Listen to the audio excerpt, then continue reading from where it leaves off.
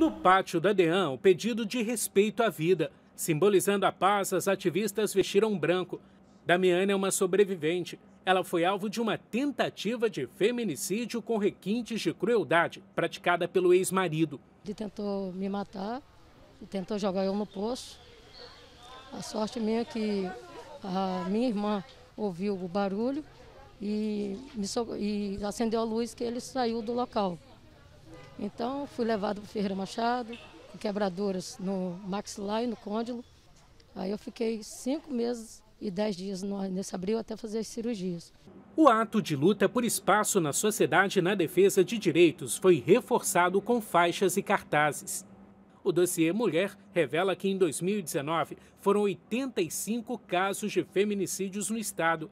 68% das vítimas eram negras. Neste 2020, em Campos, são 13 estupros e 3 feminicídios. A ocorrência mais grave aconteceu em setembro. Mara Cristina Tavares Nascimento tinha 55 anos. Câmeras de segurança flagraram o momento em que a vítima é executada a tiros na porta de casa pelo ex-marido. Newton Francisco Rangel Pinto só foi preso pouco mais de um mês depois, no esconderijo em Minas Gerais. Ciúmes, vingança e disputa por bens são as características mais comuns que motivam os criminosos. Então, a Maria da Penha trabalha com cinco tipos de violência e, dentre essas violências, os tipos penais vão se enquadrando.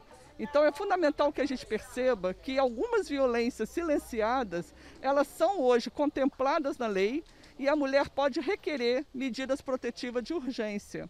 O Dia Internacional da Não Violência contra a Mulher também cobra políticas públicas em Campos. A maior cidade do interior do estado do Rio de Janeiro não conta com uma casa de acolhimento às vítimas. Sem o apoio especializado e correndo novos riscos, elas acabam obrigadas a conviver novamente próximas dos agressores. A rede de serviços sociais e psicológicos também é considerada insuficiente, principalmente nas regiões mais distantes. Com movimentos populares, a mobilização conquistou serviços como a Patrulha Maria da Penha e a DEAN, que fica no centro.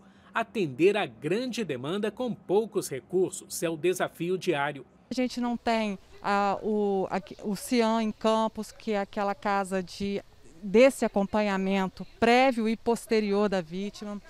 A gente tem carência de funcionário na delegacia, como também tem no do judiciário, essa carência de efetivo no geral, pós-avanços que a gente precisa para cercar a mulher de todas as formas de proteção e não só a proteção criminal. Ao longo da semana, novas atividades levarão consciência às comunidades. A data surgiu em 1960, após o assassinato de três irmãs, as mariposas, durante a ditadura na República Dominicana. Famílias fortes e unidas são a esperança de um futuro melhor. Então, é, a nossa bandeira é a bandeira da mulher. E nós queremos lutar, queremos que a sociedade olhe para a gente com bons olhos. Nós não estamos querendo fazer alvoroço, não. Nós estamos querendo o direito da mulher.